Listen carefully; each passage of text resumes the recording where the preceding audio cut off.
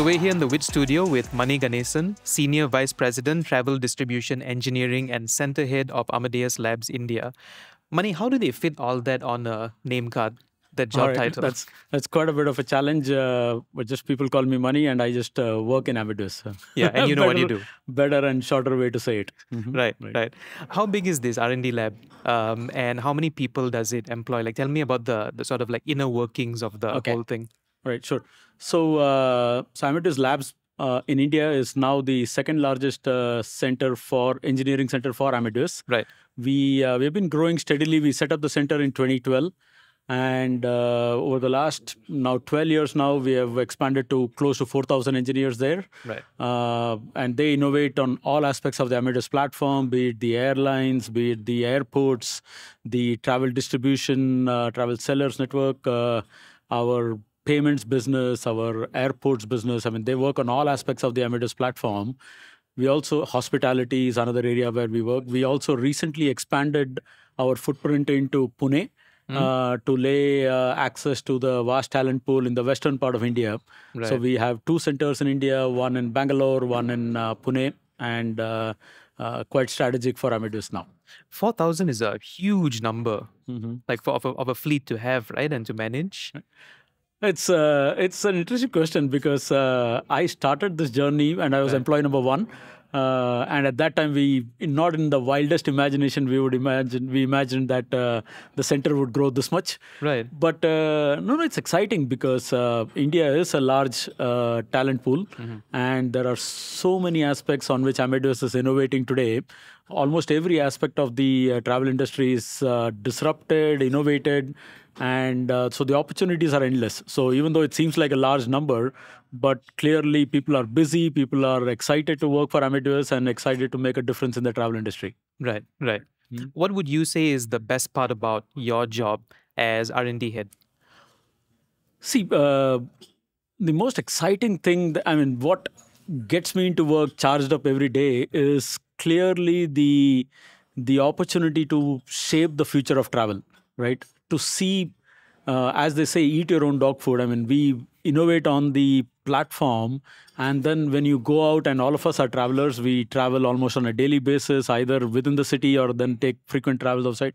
And that's what gives me the goosebump when you go into an airport and i know that behind the counter of the check-in agent or uh, when i book my ticket uh, there are amadeus systems in the background that are uh, hugely impacting the experience in the travel industry right. so that's really exciting for me to know that you help the whole thing move. Absolutely. The travel ecosystem uh, works because there is a technology provider like us, like Amadeus, who's powering this complex industry. Right. Right. right. So, okay, so let me zoom in a, a bit more. Right. Sure. Uh, mm What is the most exciting thing that you are working on right now? Okay, so uh, there are. I mean, I will answer that in three dimensions. Sure. Right. So the first one is around a the functional dimension of what's happening in the industry as a whole. Uh, so the Amadeus was formed as a GDS, what, 30, 35 years back. And there was a way that the uh, travel industry was distributing the inventory that the suppliers had through the provider network into travelers like you and me. This model is evolving into what is called NDC or the new distribution capability, mm-hmm. where it's still the same network, but more and more the providers want to have a larger say in how they distribute their content, how they customize their offers, how they reach out to travelers in a different way, which is more personalized, hyper personalized. So that is uh, what is called NDC, and that evolution is getting worked on as a large functional transformation in the industry. So that's one key aspect of what we are working on. Then I would uh, talk about it on the technology side, right? Mm-hmm. Uh, so Amadeus for the last 30, 35 years now, we have been running our own technology platform in our own data center, yep. right? Which is in Germany.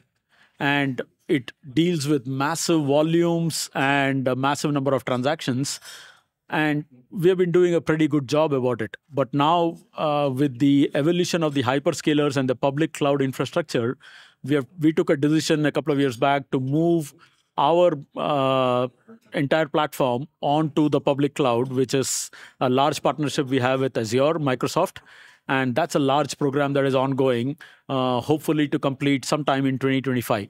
So again, massive technical evolution because it's uh, not just a lift and shift of our platform, but also evolving and developing cloud native applications, uh, leveraging the technology of Azure Right. to uh, bring more innovations to the travel industry. So that's a technology evolution that is happening. Right. Right. The third one is around emerging technology, right? Uh, and this conference is about AI.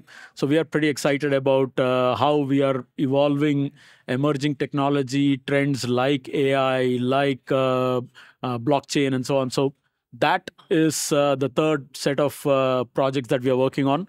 So to summarize, uh, exciting evolutions happening on the functional side, on the technology side, and on the emerging trend side. On the emerging trend side. Right. So, as a technologist, and you are a technologist, um, what are some tech trends that you're most excited about in terms of how it will enhance the traveler experience? Okay. So while I mean there are there are many evolutions that uh, the industry has seen over the last uh, two or three decades, Right. but I mean the one that has the most opportunities today is around AI and the emergence of new techniques in artificial intelligence and machine learning, right? The sophistication that a, uh, a technology like ChatGPT and the large language models that has reached uh, today is pretty exciting, and it's going to transform every industry, uh, no less the travel industry, right? So within the travel industry, we see AI coming into almost all aspects of uh, what we do, including uh, the inspire phase.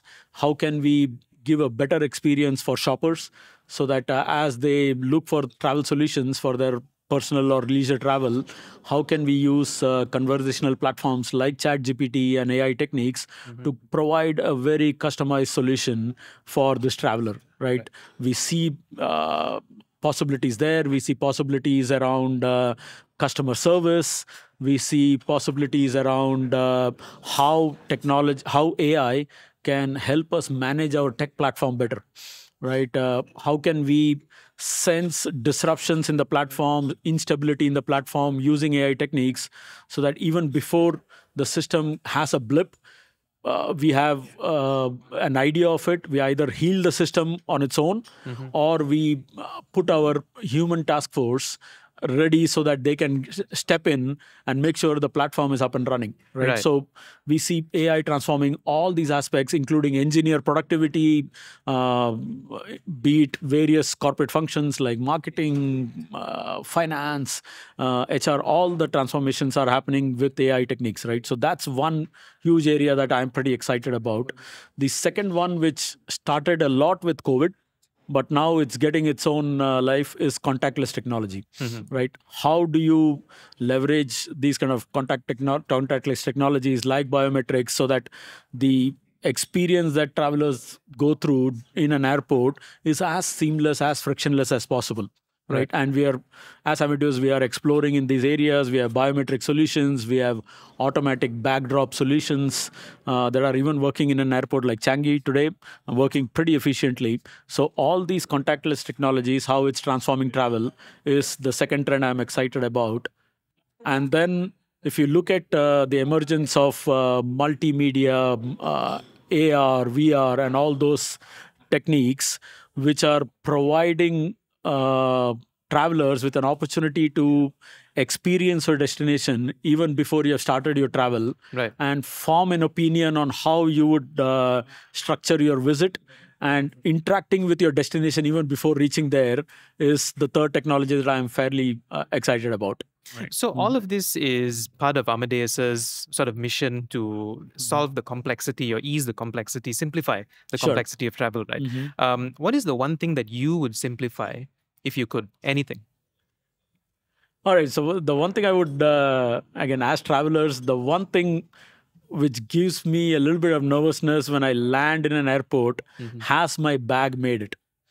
Right. Right. Uh, and you go to the conveyor belt to collect your bag, and uh, you there is a little bit of uncertainty. While of course uh, most bags make it and so on.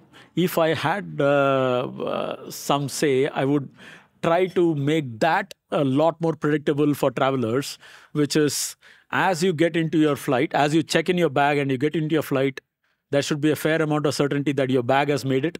Yep. And then when you get out and uh, you get to the conveyor belt, that your bag is going to be there when you reach the conveyor belt, right? Right. If we manage to get this right, I think it's going to solve so much. Uh, uh, give so much uh, ease of uh, travel to our travelers. So that's one thing. right? So this is just my personal request. Uh, please make that happen Right. because there's so much suspense just Yeah. waiting and watching the bags like coming up the conveyor Yeah. one by one. Mhm. Just wondering like, did my bag? Excitement is good, but certainty is better. Not not excitement like are all my Yes. clothes here in a foreign country or do I have to go uh, shopping again? Absolutely. Yeah, right. yeah. As I said, excitement is good, but predictability is better in this case. Is, is better, yeah, yeah.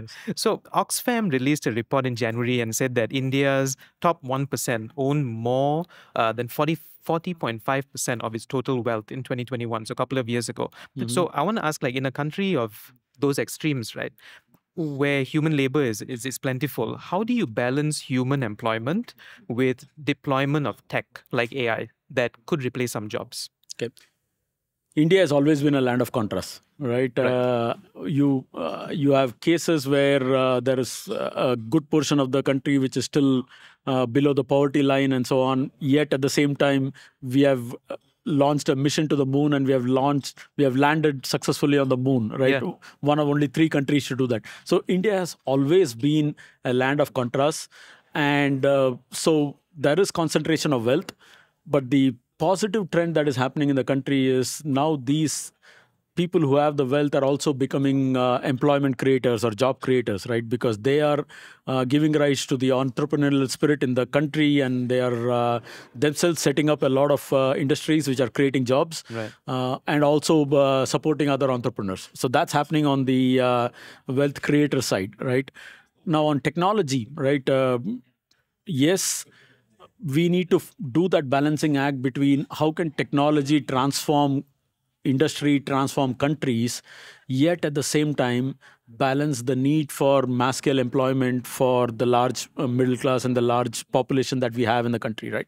So that's a responsibility that we all need to carry as technologists to make sure that we find this balance right? And clearly there are opportunities uh, of technology. There is any new technology trend that comes in including ai the initial fear is this is going to disrupt a lot of jobs and uh, how are we going to sustain employment Right. but when the dust settles and as you understand more about the technology you start seeing the opportunities right you start seeing that as technology disrupts various businesses, it also creates a lot of possibilities of more innovation coming in, more opportunities coming in for different employment opportunities, right? And that's the stage we are in also with uh, uh, new technology like AI.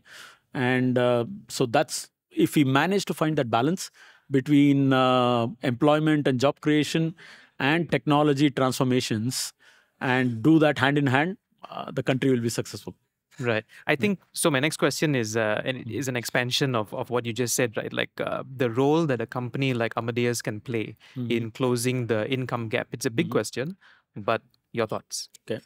So, again, for us, uh, we truly believe that diversity and inclusivity is a key aspect for the business to succeed, right? The more diverse employment that we create, the more we get diversity in our solutions, more innovations coming in. So that's a key aspect of uh, what our uh, leadership team looks at, right? Which is how can we make the workforce more diverse? Right. After that, any new technology is also going to create a lot of new jobs. Uh, like AI, again, we see it's going to uh, uh, create new roles that are coming in of uh, a prompt engineer, uh, people who can train these large data sets, large language models, and create uh, uh, uh, create better refined uh, recommendations that come out from the AI engine. So there are new jobs that are created. We also are quite serious about upskilling our uh, engineers, and generally the industry is looking at how to upskill uh, uh, their workforce on all these new trends that are coming in, like AI, and making sure that they understand these techniques and use that in a very responsible way right? Because again with any new technology there are also some concerns around privacy security and so on. And the more the engineers are educated and aware the better uh, they leverage these technologies. So we are focusing a lot on uh, uh, skill ups upskilling our engineers and upskilling our workforce. Uh, we're also looking at uh, data governance and uh, looking at making sure that we use the data that we have on our platform and it's a pretty large platform which uh, transforms the entire travel industry. So there's a lot of uh, data sitting on our platform. How are we using that data responsibly? Because we are also uh, the custodians for this data for our customers right? So uh, data governance officers uh, uh, ethical officers, AI ethicists are all these new jobs that we are seeing. Mm-hmm. And the more we incorporate these kind of diversity in our workforce, the more we will then be able to plug the income gap and the diversity gap in the industry. Right, right, right. right. So, last question would be uh, mm-hmm. based on the research that's being done, what's a lesser known upcoming travel trend that you are excited about? A lesser known travel trend is uh, how you marry virtual reality with AI techniques and uh, the the uh, the need to travel and predictability on your baggage, uh, even not having any baggage, and instead uh, get to your destination, right. and there you get uh, a, a, solution for all your uh, travel needs, and then you travel bagless, baggageless, right? Right that to me is something that is coming in the future. I thought it would uh, be in the distant future, but already there are solutions and there are companies who are providing these kind of solutions. You travel without bags. And right? they'll manage it for you. And they will manage it. They will manage giving you the uh, the solution for your entire wardrobe at your destination, so that you use it there, you leave it there, you come back home. Right. Right. That's happening, and to me, that uh, is pretty exciting as to how this will shape up. Right, right. Okay. Mani, thank you so much for your time. All right, it was a pleasure. Thank you, uh, Arvindh. Thanks for the opportunity, and uh, it's a great conference, uh, Web in Travel here. Thank you.